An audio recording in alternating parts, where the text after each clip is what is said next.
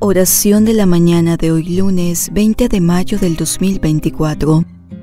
Señor, abre mis labios. Y mi boca proclamará tu alabanza. Gloria al Padre, al Hijo y al Espíritu Santo. Como era en el principio, ahora y siempre por los siglos de los siglos. Amén.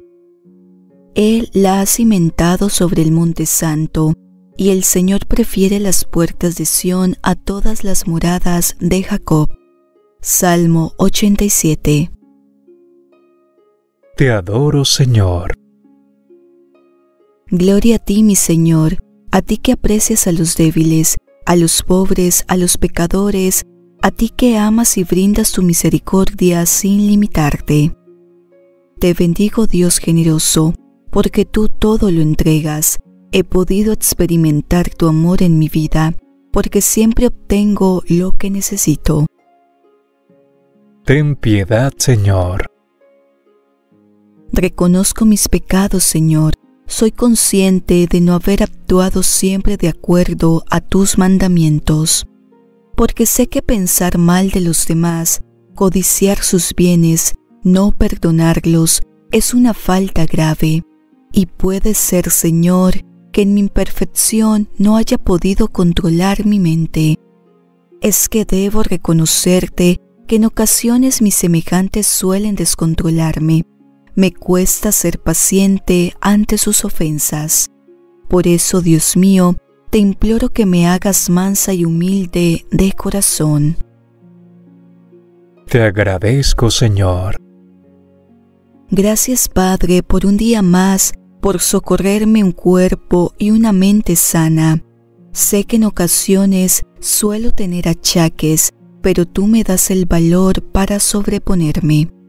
Gracias Señor, gracias porque vives atento a mis plegarias, porque buscas la manera en que te escuche. Gracias por la región en la que vivo, porque existe la paz y la tranquilidad que muchos anhelan tener. Te pido, Señor. Te pido, Padre clemente, por las viudas y huérfanos, para que encuentren en ti el amparo que necesitan, para que al escuchar tu palabra se sientan consolados y esperanzados, que puedan descubrir en esta realidad de la muerte tu presencia y tu misericordia. De igual manera, Señor, en este lunes te pido por las almas del purgatorio, para que tú, mi Dios clemente, te apiades de ellas y les concedas el descanso en tu reino.